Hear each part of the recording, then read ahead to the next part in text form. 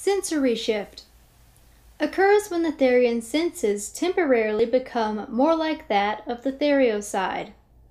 The physical body remains unchanged. This is different from a mental shift, but it can occur along with mental shifts and other types of shifts. The therian experiencing a sensory shift will feel somewhat animalistic, alert, and often have a pleasurable, heightened sense of the physical body. Sensory shifting does not make the senses more powerful. Focusing attention on a certain sense, such as smell, can allow us to pick out more smells than usual. It is important to note that this is a heightening focus rather than a heightening of the sense itself.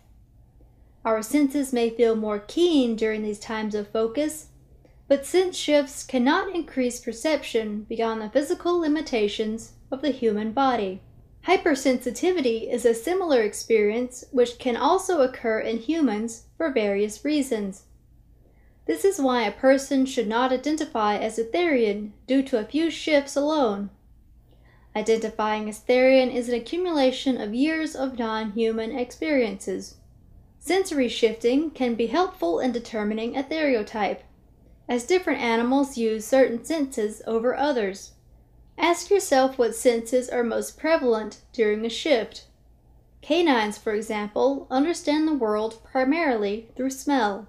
Sensory shifting was first mentioned in the community circa 1999 on alt.horror.werewolves.